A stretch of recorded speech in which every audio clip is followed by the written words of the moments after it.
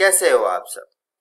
आशा करता हूँ कि आपको जो ये घर पर आपके विद्यालय का अनुभव मिल रहा है, आप उसे बहुत एंजॉय कर रहे होंगे। और एंजॉयमेंट के साथ साथ आपकी पढ़ाई भी हो रही होगी। आप सभी ने अपना कॉपी और कलम तो ले ही लिया होगा। तो आइए देखते हैं आज के एपिसोड में हम क्या पढ़ेंगे। आज के एपिसोड में हम कक्षा 11 में केमिस्ट्री यानी कि रसायन विज्ञान में परमाणु की संरचना के बारे में जानेंगे, यानी स्ट्रक्चर ऑफ़ एटम के बारे में पढ़ेंगे। उसके बाद बच्चों, हम भौतिकी यानी कि फिजिक्स में मोशन इन स्ट्रेट लाइन के बारे में जानेंगे, यानी कि सीधी रेखा में गति।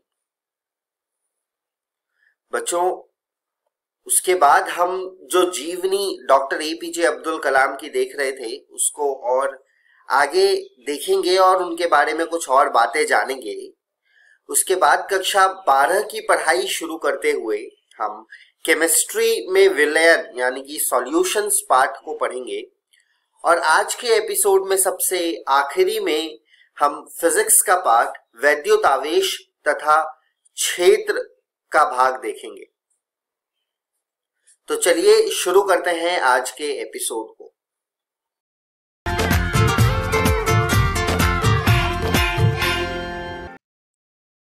नमस्कार दोस्तों। आज के इस अध्याय में आपका स्वागत है। आज हम रसायन विज्ञान की कक्षा ग्यारहवीं का पाठ नंबर दो पढ़ेंगे, जिसका नाम है परमाणु की संरचना भाग दो। तो चलिए दोस्तों, देखते हैं कि आज के इस अध्याय में हम क्या पढ़ेंगे। आज के इस वीडियो में हम पढ़ेंगे परमाणु का थॉमसन मॉडल। उसके बाद हम पढ़ेंगे रदरफोर्ड का नाभिकीय परमाणु मॉडल। और आखिर में हम पढ़ेंगे समस्थानिक एवं समभारिक तो चलिए दोस्तों, शुरू करते हैं अपने आज के पहले विषय से। परमाणु का Thomson model. J J Thomson ने परमाणु का मॉडल दिया, जिसे प्लम पुडिंग मॉडल के नाम से भी जाना जाता है। इस मॉडल के अनुसार परमाणु धनावेशित पदार्थ से बना हुआ है, जिसके अंदर ऋणावेशित इलेक्ट्रॉन बिखरे होते हैं, जैसा कि आप इस चित्र में देख रहे हैं। तो चलिए देखते हैं इस मॉडल के कुछ निष्कर्ष। पहला ऋणात्मक आवेश परमाणु के भीतर होता है। दूसरा, परमाणु से भी छोटा कण प्रकृति में होता है। तीसरा, परमाणु को विभाजित किया जा सकता है। तो चलिए दोस्तों, आगे बढ़ते हैं और देखते हैं इस मॉडल की कुछ कमियाँ। यह मॉडल यह समझाने में विफल रहा कि परमाणु के अंदर धनावेश इलेक्ट्रॉन को कैसे बांधे रखता है। दूसरा, इस मॉडल ने परमाणु के नाभिक के बारे में भी नहीं बताया। तो इसी के साथ परमाणु का थॉमसन मॉडल यहीं पर समाप्त होता है। चलिए बढ़ते हैं अपने अगले विषय की तरफ़। रदरफोर्ड का नाभिकीय परमाणु मॉडल उससे पहले हम पढ़ेंगे रदरफोर्ड का अल्फ़ा कण प्रकीर्णन प्रयोग। रदरफोर्ड के प्रयोग के अंतर्गत लगभग 2000 परमाणु की मोटाई की एक पतली स्वर्ण परत पर छोटे धनावेशित अल्फ़ा कणों की बौछार की गई। जैसा कि आप इस चित्र में देख रहे हैं, यहाँ पर अल्फ़ा कण का सक्रिय स्रोत, कुछ अल्फ़ा कण फेंक रहा है स्वर्ण पत्र के ऊपर। आइए देखते हैं इस प्रयोग की क्या क्या अवलोकन थी। पहली, अधिकांश अल्फ़ा कण स्वर्ण पत्र से अविक्षेपित होकर गुजरे। दूसरी, बहुत कम अल्फ़ा कण टकरा कर वापस लौट गए, यानी 180 डिग्री द्वारा विक्षेपित हुए। तीसरी, कुछ अल्फ़ा कण ऐसे थे जो छोटे कोण से अविक्षेपित होकर गुजरे। चलिए दोस्तों, आगे बढ़ते हैं और देखते हैं इस मॉडल के निष्कर्ष। पहला, एक परमाणु में एक धनावेशित नाभिक होती है, जिसके चारों तरफ़ इलेक्ट्रॉन घूमते हैं। दूसरा, इलेक्ट्रॉन और नाभिक कोलंबिक आकर्षण के बल द्वारा आपस में बंधे होते हैं। जैसा कि आप इस चित्र में देख रहे हैं, यहाँ पर एक नाभिक, जो कि परमाणु के बिल्कुल बीचों बीच है, और उसके ऊपर धनावेशित आवेश है। दूसरी तरफ़ इलेक्ट्रॉन जिसके ऊपर ऋणात्मक आवेश है, वो उस नाभिक के ऊपर ऑर्बिट में चारों तरफ़ चक्कर लगा रहा है। दोस्तों, आगे बढ़ते हैं और देखते हैं इस मॉडल की कुछ कमियाँ। पहली, यह परमाणु की इलेक्ट्रॉनिक संरचना के बारे में कुछ नहीं बता पाया था। दूसरी, यह स्पेक्ट्रा की लाइन की व्याख्या नहीं कर सका तो चलिए दोस्तों, बढ़ते हैं अपने अगले विषय की तरफ़। परमाणु संख्या। परमाणु में प्रोटॉन की संख्या को उसकी परमाणु संख्या कहा जाता है। यानी कि परमाणु संख्या बराबर होती है कुल प्रोटॉन की संख्या के। चलिए दोस्तों, आगे बढ़ते हैं। द्रव्यमान संख्या। परमाणु में प्रोटॉन और न्यूट्रॉन की कुल संख्या को इसका द्रव्यमान संख्या कहा जाता है। यानी कि द्रव्यमान संख्या बराबर होती है प्रोटॉन की कुल संख्या जमा न्यूट्रॉन की कुल संख्या के। तो चलिए दोस्तों, बढ़ते हैं अपने अगले विषय की तरफ़। समस्थानिक। समस्थानिक एक तत्व के वो परमाणु होते हैं जिनकी परमाणु संख्या समान होती है, मगर द्रव्यमान संख्या भिन्न होती है। एक ही तत्व के समस्थानिक एक दूसरे से केवल न्यूट्रॉन की संख्या में भिन्न होते हैं। आइए देखते हैं समस्थानिक के उदाहरण। हाइड्रोजन के समस्थानिक। दोस्तों, प्रकृति में हाइड्रोजन के तीन समस्थानिक पाए जाते हैं। पहला, प्रोटियम, दूसरा, ड्यूटीरियम और तीसरा, ट्रीटियम। आइए इनके बारे में जानते हैं। जैसा कि आप देख रहे हैं, प्रोटियम की परमाणु संख्या एक होती है और द्रव्यमान संख्या भी एक होती है। ड्यूटीरियम की परमाणु संख्या भी एक होती है, जबकि द्रव्यमान संख्या दो होती है। ट्रीटियम की परमाणु संख्या भी एक होती है, लेकिन द्रव्यमान संख्या तीन होती है। यानी कि प्रोटियम, ड्यूटीरियम और ट्रीटियम तीनों की परमाणु संख्या एक ही है, जबकि द्रव्यमान संख्या अलग है। इसीलिए इन्हें हाइड्रोजन के समस्थानिक कहते हैं। चलिए दोस्तों आगे बढ़ते हैं। संभारिक अलग अलग परमाणु संख्या वाले अलग अलग तत्वों के परमाणु जिनका द्रव्यमान संख्या एक ही है, उन्हें समभारिक कहा जाता है। उदाहरण के तौर पर सल्फ़र, क्लोरीन, कैल्शियम, इन सभी की द्रव्यमान संख्या बराबर है। इसीलिए इनको समभारिक कहते हैं। चलिए दोस्तों, बढ़ते हैं अपने आखिरी विषय की तरफ़। समस्थानिक एवं समभारिक के बीच अंतर। समस्थानिकों की परमाणु संख्या समान होती है, जबकि समभारिकों की परमाणु संख्या भिन्न होती है। समस्थानिकों की द्रव्यमान संख्या भिन्न होती है, जबकि समभारिकों की द्रव्यमान संख्या समान होती है। समस्थानिकों में प्रोटॉन की संख्या समान होती है, जबकि समभारिकों में प्रोटॉन की संख्या अलग होती है। तो दोस्तों, इसी के साथ ये अध्याय यहीं पर समाप्त होता है। आइए देखते हैं हमने आज क्या क्या पढ़ा। इस वीडियो में हमने सीखा परमाणु का थॉमसन मॉडल। इस मॉडल को प्लम पुडिंग मॉडल के नाम से भी जाना जाता है। इस मॉडल के अनुसार परमाणु धनावेशित पदार्थ से बना हुआ है, जिसके अंदर इलेक्ट्रॉन होते हैं। उसके बाद हमने पढ़ा रदरफोर्ड का नाभिकीय परमाणु मॉडल। यह मॉडल थॉमसन मॉडल की कमियों को पूरा करता था। और इसके अंदर हमने यह जाना कि इलेक्ट्रॉन नाभिक के चारों तरफ़ ऑर्बिट में चक्कर लगाता है। उसके बाद हमने पढ़ा, समस्थानिक एवं समभारिक तो चलिए, देखते हैं कि अगले वीडियो में हम क्या सीखेंगे।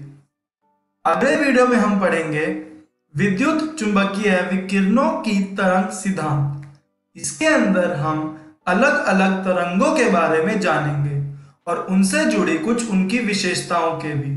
जैसे कि तरंग दैर्ध्य, आवृत्ति और आयाम। उसके बाद हम पढ़ेंगे प्लांक का क्वांटम सिद्धांत। यहाँ पर हम महान वैज्ञानिक प्लांक द्वारा दिए गए ऊर्जा के सूत्र के बारे में जानेंगे। तब तक आप इस वीडियो में दिए गए प्रश्नों का अभ्यास कर लीजिएगा। धन्यवाद।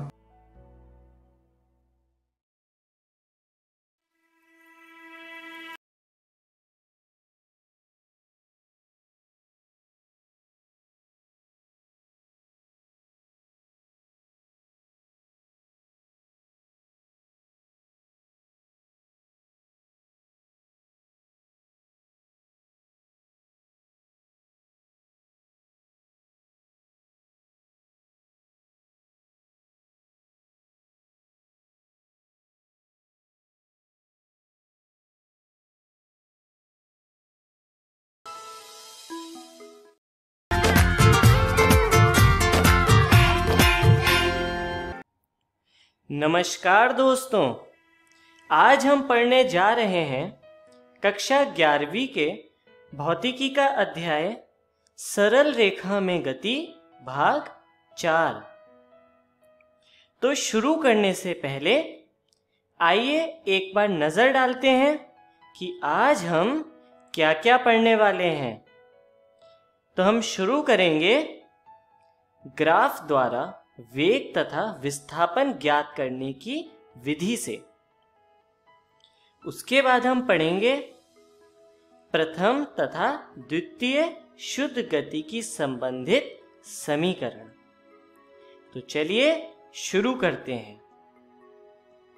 ग्राफ द्वारा वेग ज्ञात करने की विधि। इसके लिए त्वरण तथा समय ग्राफ की आवश्यकता होती है। वेग का मान, त्वरण तथा समय ग्राफ के वक्र के तहत कुल क्षेत्रफल के मान के बराबर होता है।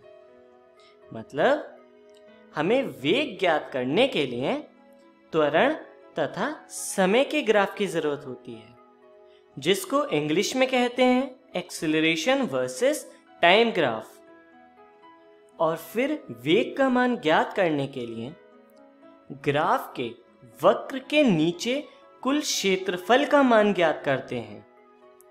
और यही क्षेत्रफल का मान वेग के बराबर होता है।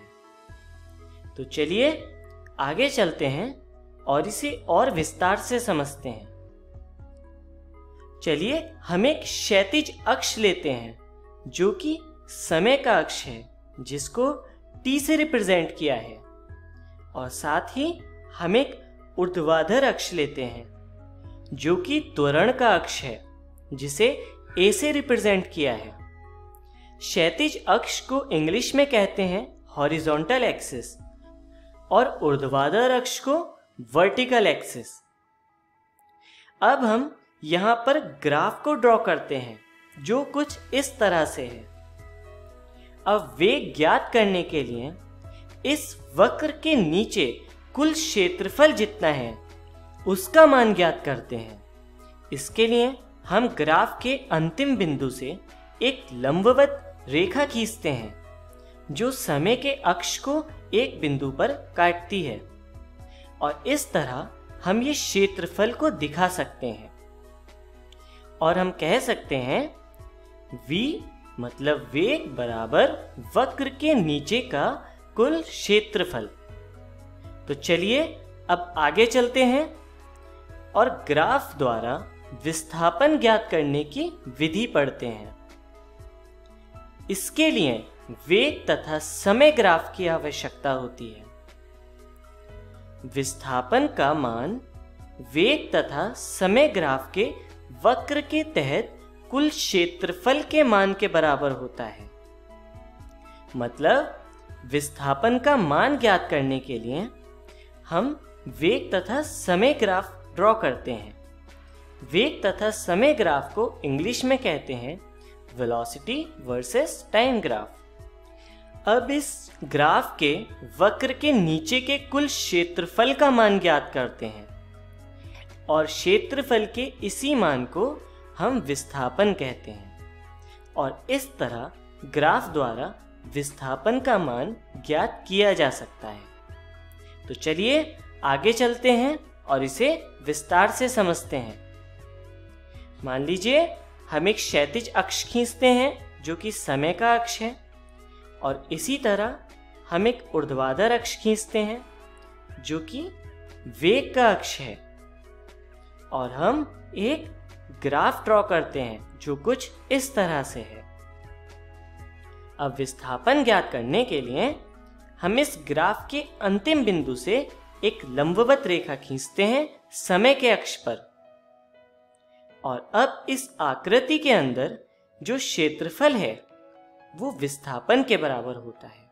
और हम लिख सकते हैं, d यानी विस्थापन बराबर वक्र के नीचे का कुल क्षेत्रफल।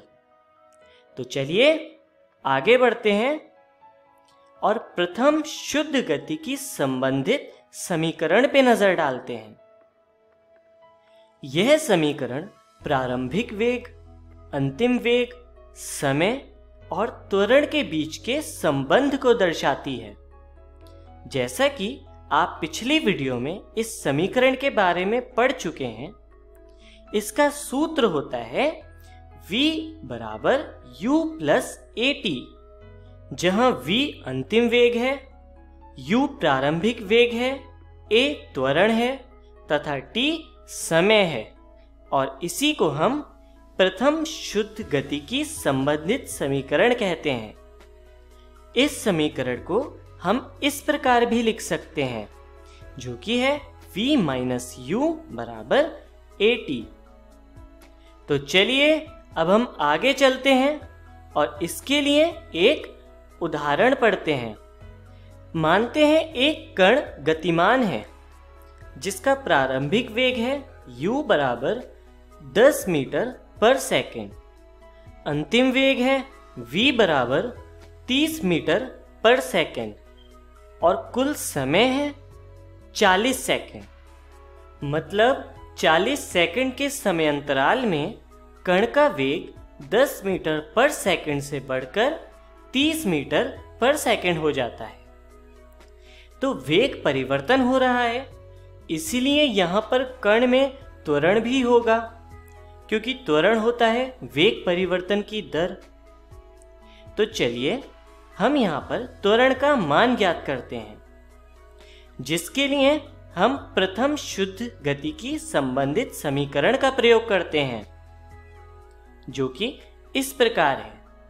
V बराबर u प्लस ए टी जहाँ पर v अंतिम वेग है, u प्रारंभिक वेग है, a त्वरण है, तथा t समय है। तो चलिए, अब हम यहाँ पर सभी चरों के मान रखते हैं। जो कि इस प्रकार से हैं। 30 मीटर पर सेकेंड बराबर 10 मीटर पर सेकेंड प्लस a गुणा 40 सेकेंड। अब इसे हल करने के लिए 10 मीटर पर सेकंड को लेफ़्ट हैंड साइड ले जाते हैं, जिससे हमें मिलता है 30 मीटर पर सेकेंड माइनस 10 मीटर पर सेकेंड बराबर a गुणा 40 मीटर पर सेकेंड। और इसे हल करने पर मिलता है ए गुणा चालीस मीटर पर सेकंड बराबर बीस मीटर पर सेकेंड, जिसे हल करने पर हमें मिल जाता है ए बराबर ज़ीरो पॉइंट फाइव मीटर पर सेकेंड स्क्वायर। और यही त्वरण का मान है। तो इस तरह प्रथम शुद्ध गति की संबंधित समीकरण का प्रयोग करके हमने त्वरण का मान ज्ञात किया। तो चलिए, अब हम आगे बढ़ते हैं और द्वितीय शुद्ध गति की संबंधित समीकरण को पढ़ते हैं। इसके लिए हम एक क्षैतिज अक्ष खींचते हैं, जो कि समय का अक्ष है, और साथ ही एक ऊर्ध्वाधर अक्ष खींचते हैं, जो वेग का अक्ष है। अब यहाँ पर हम समय और वेग के बीच एक ग्राफ खींचते हैं, जो कुछ इस तरह से है। अब द्वितीय शुद्ध गति की संबंधित समीकरण निकालने के लिए हम इस ग्राफ के अंडर क्षेत्रफल कैलकुलेट करते हैं, और जो कि विस्थापन होता है। तो चलिए देखते हैं किस तरह से। ग्राफ के अंतिम बिंदु से एक लंबवत रेखा खींची जाती है, जो समय के अक्ष को एक बिंदु पर काटती है। अब इस आकृति के अंदर कुल क्षेत्रफल जिसको नीले रंग से दिखाया गया है, इसका मान विस्थापन के मान के बराबर होता है।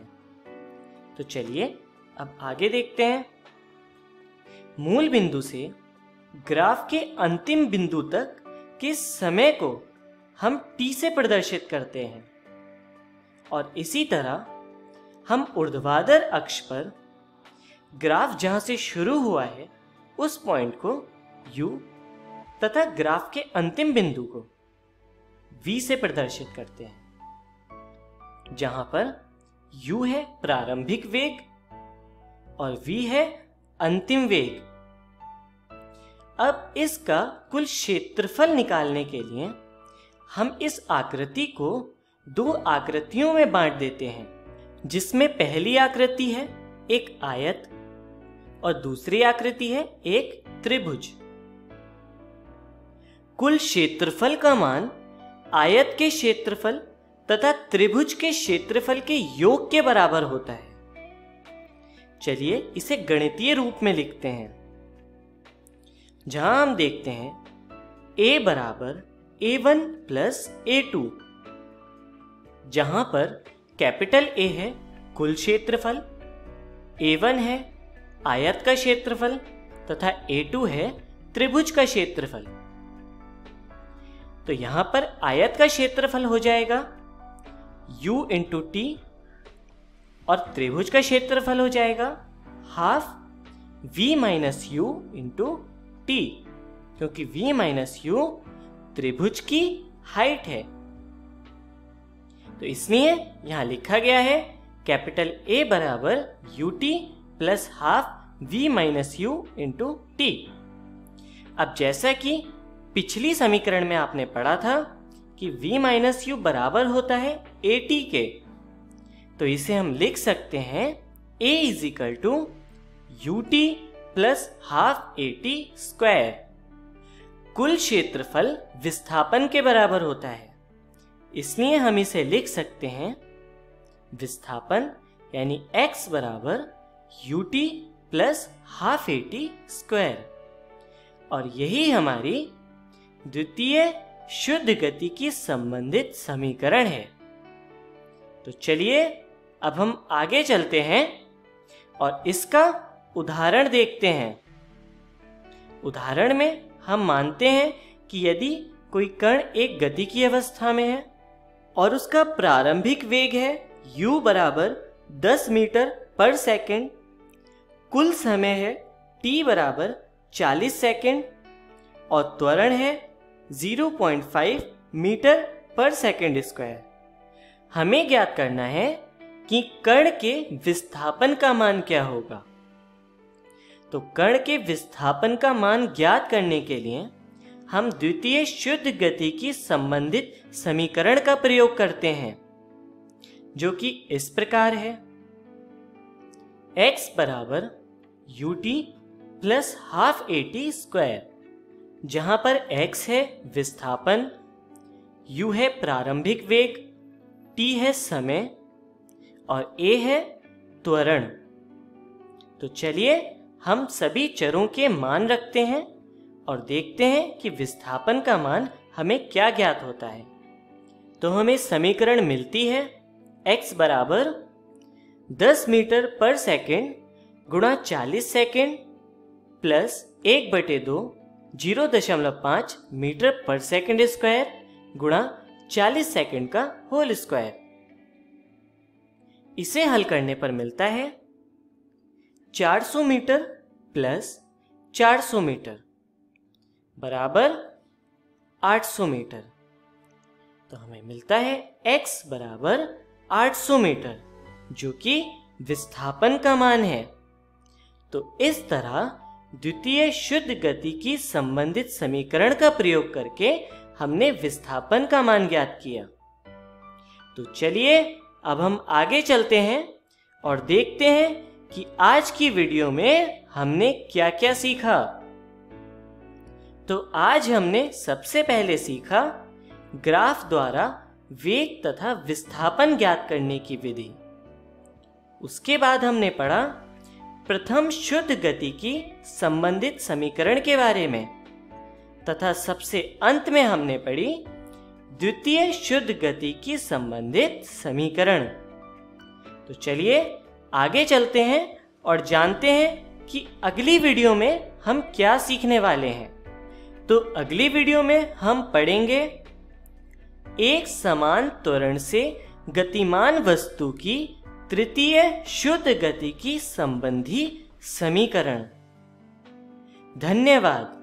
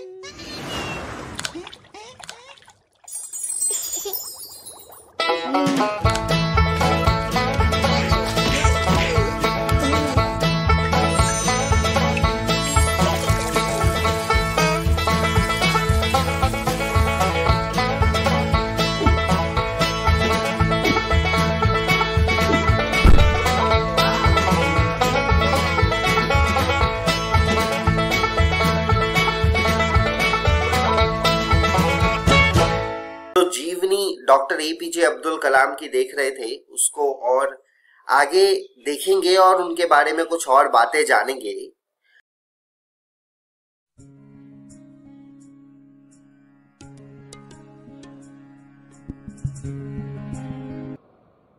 रेटो पे काम करते हुए दो अहम वाकयात हुए।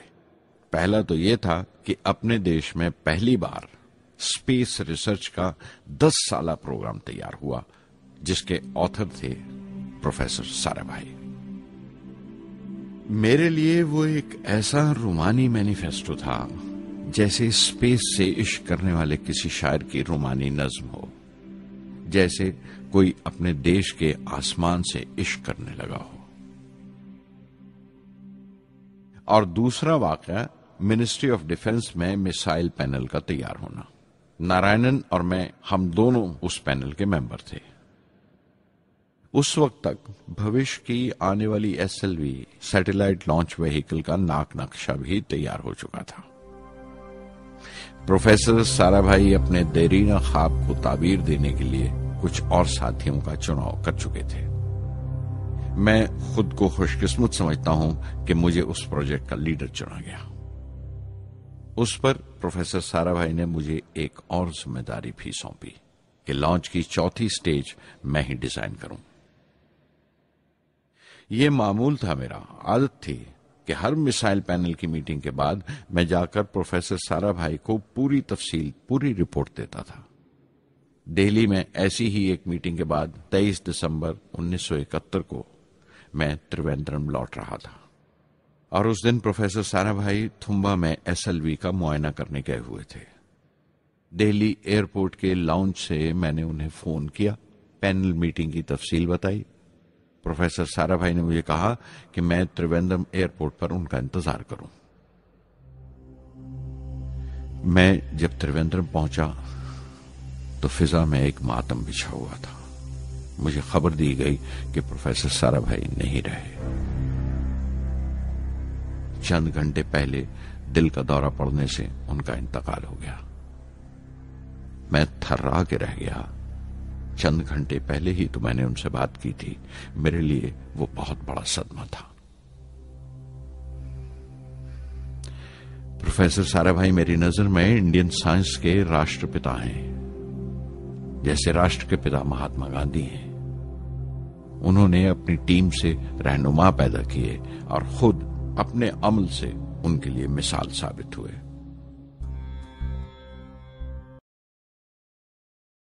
कुछ अरसा प्रोफेसर एम जी के मैनन ने स्पेस रिसर्च का काम संभाला।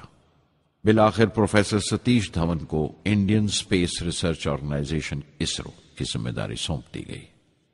तुम्बा का पूरा कॉम्प्लेक्स एक बड़े पैमाने पर स्पेस सेंटर बना दिया गया और Vikram Sarabhai space centre VSSC का नाम दिया गया।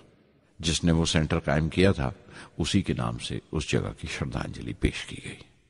मशहूर मेटलर्जिस्ट डॉक्टर ब्रह्म प्रकाश वीएसएससी के पहले डायरेक्टर मुकर हुए। कोई भी शख्स अपनी जिम्मेवारी में तभी कामयाब हो सकता है अगर वो बारसूख हो, मोतबर हो और अपने फैसलों के लिए उसे सही हद तक आज़ादी हो। शायद निजी ज़िंदगी में भी तसल्ली का यही एक रास्ता है। आज़ादी और जिम्मेवारी एक साथ हो। तभी वो तस्कीन और खुशी का बायस हो सकती है। और जाती आज़ादी हासिल करने के लिए मैं दो रास्ते तजवीज कर सकता था, जो मैंने इख्तियार किए। पहला तो यह कि अपनी तालीम और तरबियत को बढ़ावा दो। इल्म, नॉलेज बड़ा कारामद हथियार है, बहुत काम आता है। इल्म जितना ज़्यादा होगा, उतनी ज़्यादा आज़ादी के हकदार हो गए इल्म वो पूंजी है जो कोई छीन नहीं सकता। टीम की रहनुमाई तभी मुमकिन है अगर आपकी जानकारी मुकम्मल हो अप टू डेट हो।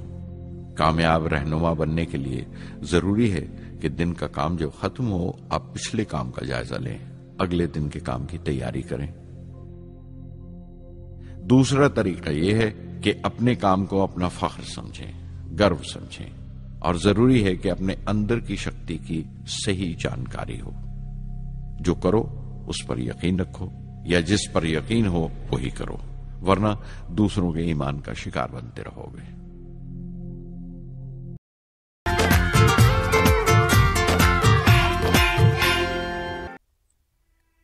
नमस्कार दोस्तों, आज हम विलियन का चौथा भाग शुरू करने जा रहे हैं। वीडियो को शुरू करने से पहले आइए देखते हैं कि आज की इस वीडियो में हम कौन कौन से टॉपिक्स पढ़ेंगे। सबसे पहले हम अनुसंख्या गुणधर्म के बारे में पढ़ेंगे और उसके बाद हम असामान्य मोलर द्रव्यमान के बारे में पढ़ेंगे। तो आइए शुरू करते हैं अनुसंख्या गुणधर्म से। अनुसंख्या गुणधर्म क्या होता है? अनुसंख्या गुणधर्म वो गुणधर्म होता है जो सिर्फ़ कणों की संख्या पर निर्भर करता है। उसे अनुसंख्या गुणधर्म कहते हैं। अनुसंख्या गुणधर्म चार प्रकार के होते हैं। पहला जो होता है, उसे कहते हैं वाष्प दाब का आपेक्षिक अवनमन। दूसरा जो होता है, उसे कहते हैं क्वथनांक का उन्नयन। तीसरा जो होता है, उसे कहते हैं हिमांक का अवनमन। और जो चौथा होता है, उसे कहते हैं परासरण दाब। शुरू करते हैं वाष्प दाब का आपेक्षिक अवनमन से। देखिए, वाष्प दाब का जो आपेक्षिक अवनमन होता है, उसके लिए जो समीकरण होता है, वो कुछ इस प्रकार होता है। डेल्टा पी वन बराबर p not one x two. जो पी नॉट वन है, वो उस अव्यय का वाष्प दाब होता है। डेल्टा पी वन जो है, वो आपेक्षिक अवनमन है। और x2 जो है, वो विलायक का मोल अंश है। आइए बढ़ते हैं आगे क्वथनांक का उन्नयन। क्वथनांक का जो उन्नयन होता है, वो कुछ इस प्रकार है। डेल्टा टी बी बराबर के बी गुणा एम यहाँ पर एम जो होता है, वो विलय की मोललता है और के बी जो है वो क्वथनांक उन्नयन स्थिरांक है। आप इन चीज़ों को अपनी कॉपी में लिख लीजिएगा। ये बहुत ज़रूरी चीज़ें हैं। डेल्टा टीवी जो है, वो क्वथनांक का उन्नयन होता है। क्वथनांक के उन्नयन पर काफ़ी प्रश्न पूछ लिए जाते हैं परीक्षा में तो आप इस टॉपिक पर कुछ प्रश्न हल कर लीजिएगा। अब आगे बढ़ते हैं। हिमांक का अवनमन। हिमांक का अवनमन होता है डेल्टा टी एफ़ बराबर के एफ़ गुणा एम। यहाँ पर डेल्टा टी एफ़ हिमांक के अवनमन को दर्शाता है। जो एम है वो विलेय की मोललता है और के एफ़ जो है वो हिमांक का अवनमन स्थिरांक है। यह था हिमांक का अवनमन। यह भी बहुत ज़रूरी टॉपिक है। आप इस पर कुछ प्रश्न कर लीजिएगा। अब बात करते हैं हमारे चौथे और आखिरी अनुसंख्या गुणधर्म की, जिसका नाम है परासरण अंग्रेज़ी में परासरण को ऑस्मोसिस भी कहते हैं। परासरण में क्या होता है? एक जगह विलियन होता है और दूसरी जगह विलायक होता है। बीच में एक अर्धपराग्य झिल्ली मौजूद होती है। इस अर्धपराग्य झिल्ली का काम क्या होता है? यह कुछ कणों को अपने से जाने देती है और कुछ कणों, और कुछ कणों को रोक देती है। जब अर्धपराग्य झिल्ली, विलयन और विलायक के बीच में लगी होती है तो विलायक का प्रवाह विलयन की तरफ़ होने लगता है। विलायन के इस प्रवाह को परासरण कहते हैं या फिर ऑस्मोसिस कहते हैं। तो यह होता है परासरण अब जानते हैं परासरण दाब क्या होता है। हमारे पास तीन तरह की अवस्थाएँ हैं। पहली अवस्था होती है जब कोई दाब नहीं लग रहा होता। कोई दाब नहीं लग रहा होता बाहर से। उस समय क्या होता है? जो अर्धपराग्य झिल्ली है, जिसको हम अंग्रेज़ी में सेमी परमिएबल मेम्ब्रेन भी कहते हैं, उससे विलायक विलियन की तरफ़ जाने लगता है। लेकिन अगर हम विलियन वाले खांचे में ऊपर से एक दाब लगाएँ और उस दाब को लगाते ही वो जो विलायक विलियन की तरफ़ आ रहा था, वो आना बंद कर दे। उस दाब को कहते हैं परासरण दाब या फिर अंग्रेज़ी में उसे ऑस्मोटिक प्रेशर भी कहते हैं। तो ऑस्मोटिक प्रेशर या परासरण दाब, वो दाब होता है जिसको लगाते ही जो विलायक का प्रवाह है, वो रुक जाए। उसे परासरण दाब कहते हैं। यह दूसरी अवस्था थी। तीसरी अवस्था वो होती है जब जो हमारा दाब लग रहा है वो परासरण दाब से अधिक लग रहा है। जब दाब परासरण दाब से अधिक लगने लग जाए तो उस अवस्था में क्या होता है? विलियन में से विलायक के कण बाहर की तरफ़ जाने लगते हैं। तो इसे कहते हैं परासरण दाब और जो आखिरी वाला मैंने आपको मामला बताया वह मामला हम पानी को शुद्ध करने में इस्तेमाल करते हैं, उसे हम अंग्रेज़ी में रिवर्स ऑस्मोसिस कहते हैं। तो यह था परासरण दाब। अब देख लेते हैं परासरण दाब का सूत्र। तो परासरण दाब का सूत्र होता है pi is equals to c r t यहाँ पर सी जो है, वो मोलरता है आर जो है वो गैस नियतांक है, और टी जो है वो तापमान है। तो यह परासरण दाब का सूत्र होता है। अब हम बात करते हैं असामान्य मोलर द्रव्यमान की। अभी तक हमने जितनी भी अनुसंख्या गुणधर्म के बारे में पढ़ा, उसमें हमने बस एक चीज़ को ध्यान में नहीं रखा। जैसे हमारा केसीएल है तो केसीएल को जब हम पानी में डालेंगे तो केसीएल जो है वो के प्लस और सीएल माइनस में टूट जाता है। लेकिन हमने अभी तक इन सब चीज़ों को नकारा है। और इससे जो हमारी अनुसंख्या गुणधर्म की जो भी वैल्यू आई है, वो सारी गलत हो जाएँगी। क्यों ऐसा होगा? क्योंकि जैसे हम केसीएल के लिए अनुसंख्या गुणधर्म निकालते हैं तो हमने ये चीज़ पढ़ी कि अनुसंख्या गुणधर्म कणों की संख्या पर निर्भर करती है। तो केसीएल तो एक कण है, हमने उस एक कण को लेकर ही उस अनुसंख्या गुणधर्म की मात्रा निकाली। लेकिन केसीएल तो के प्लस और सीएल माइनस में बटने के बाद दो कण बन गए तो यहाँ पर दो कणों के लिए अनुसंख्या गुणधर्म निकालना होगा, जो हमने नहीं किया और जो कि गलत है। तो असामान्य मोलर द्रव्यमान इसी चीज़ को सही करता है। आई बराबर सामान्य द्रव्यमान भागा असामान्य द्रव्यमान। आई को वॉन्ट हाफ़ गुणक कहते हैं। हमने अभी तक जितनी भी अनुसंख्या गुणधर्म निकाला है, उसमें इस आई को गुणा करना होगा और उससे जो अनुसंख्या गुणधर्म की जो भी वैल्यू आएगी, वह हमारा सही उत्तर होगा। तो यह होता है असामान्य मोलर द्रव्यमान। आइए अब वीडियो के अंत में आ गए हैं हम लोग। तो देखते हैं हमने क्या क्या सीखा। सबसे पहले हमने अनुसंख्या गुणधर्म के बारे में पढ़ा। इसमें हमने चार तरह की अनुसंख्या गुणधर्म पढ़े। उसके बाद हमने असामान्य मोलर द्रव्यमान पढ़ा। मैं उम्मीद करता हूँ आपको मेरी बताई हुई चीज़ें समझ आई होंगी और मैं आपको यह सुझाव दूँगा कि आप ये सब चीज़ें एन रसायन विज्ञान भाग एक से पढ़ लीजिएगा और कुछ प्रश्न भी हल कर लीजिएगा। धन्यवाद दोस्तों।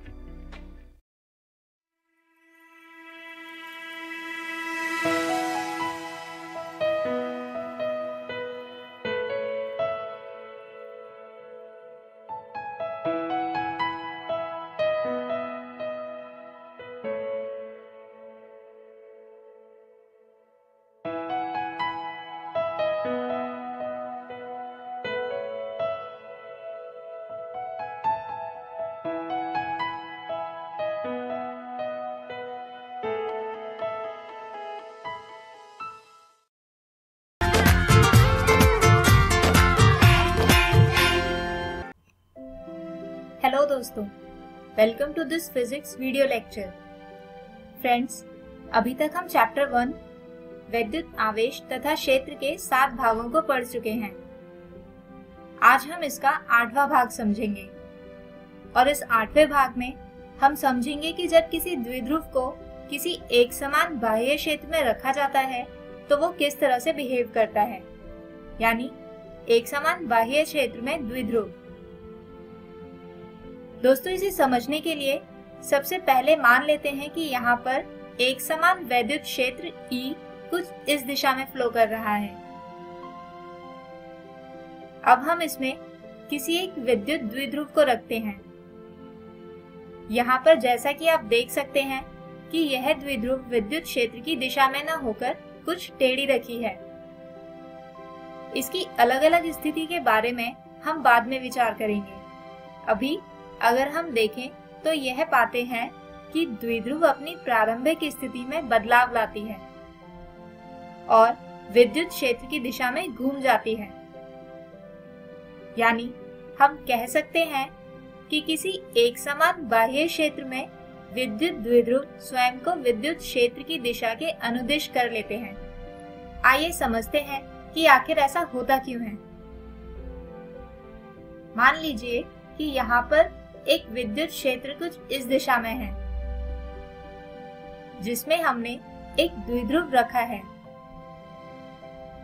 जिसमें धनात्मक आवेश बिंदु ए तथा ऋणात्मक आवेश बिंदु बी पर रखा है। दोस्तों, यहाँ पर हमने केवल विद्युत क्षेत्र की दिशा को दर्शाने के लिए एक ही एरो बनाया है।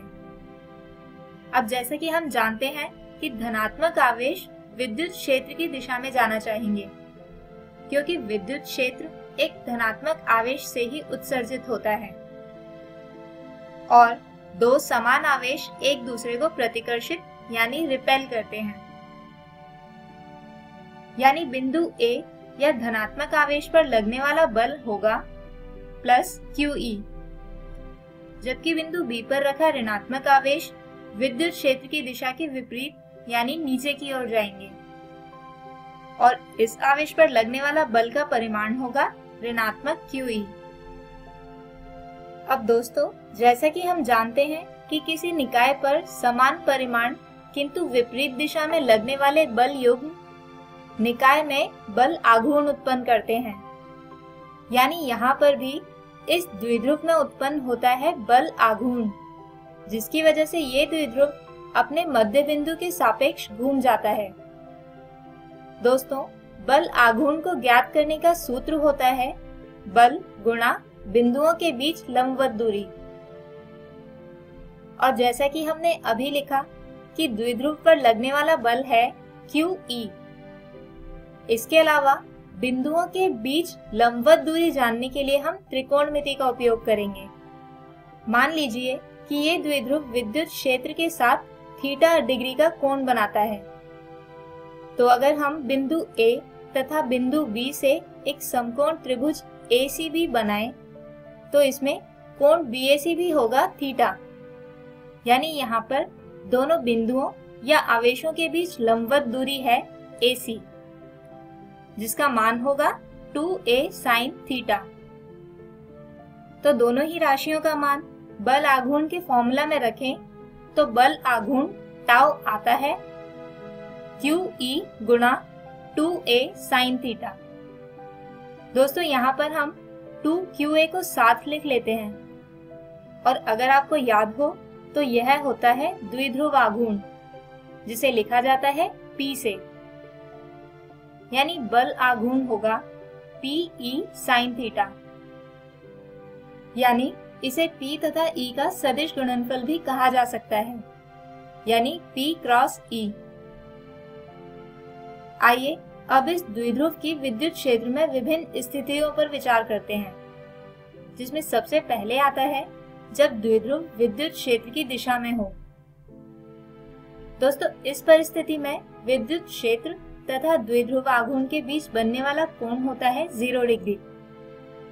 तो बल आघूर्ण का मान होगा p e sine zero degree और क्योंकि साइन ज़ीरो डिग्री का मान होता है ज़ीरो इसलिए यहाँ पर बल आघूर्ण का मान भी होगा ज़ीरो।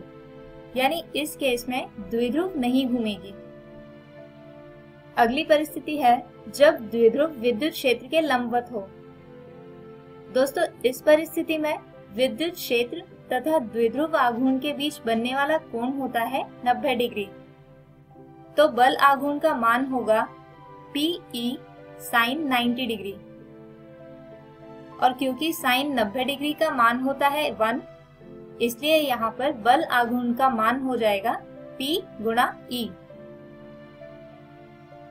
आइए, अब आज के वीडियो में समझाए गए विषय पर आधारित एक उदाहरण समझते हैं। प्रश्न है, समान आवेश दो कुलम और ऋणात्मक दो कुलम को दो सेंटीमीटर की दूरी से अलग करने वाले विद्युत द्विध्रुव को 30 डिग्री के कोण पर 0.225 न्यूटन प्रति कुलम के विद्युत क्षेत्र में रखा गया है।